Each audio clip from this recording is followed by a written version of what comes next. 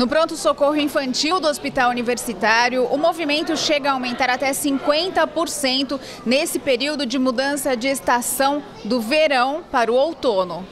Segundo a pediatra Maria de Fátima Riso, o tempo mais seco e as oscilações de temperatura são fatores que desencadeiam doenças respiratórias e viroses, principalmente entre as crianças os resfriados comuns, as gripes, que é um resfriado um pouco mais agravado, as patologias pulmonares, então as crises de asma, as bronquiolites nos bebês pequenininhos, que é a falta de ar, né, o desconforto respiratório.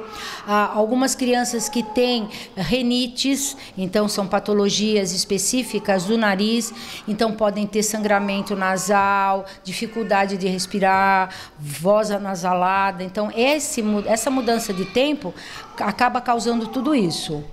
Sessões de inalação e outros medicamentos são receitados para as crianças com sintomas respiratórios, mas em alguns casos a internação é inevitável.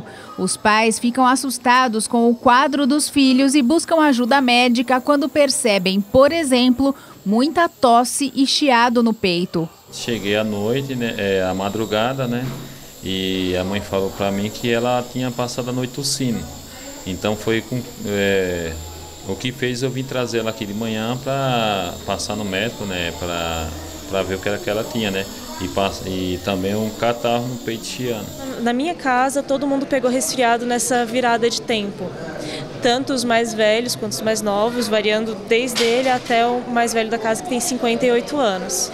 A médica dá algumas orientações que podem ajudar a manter a boa saúde durante o outono e o inverno. Você pode ter uma casa mais ventilada, então, uh, durante o período do frio, você até pode usar um, um aquecedor, mas bem longe das crianças né, e até da gente, para não ter essas mudanças bruscas de temperatura.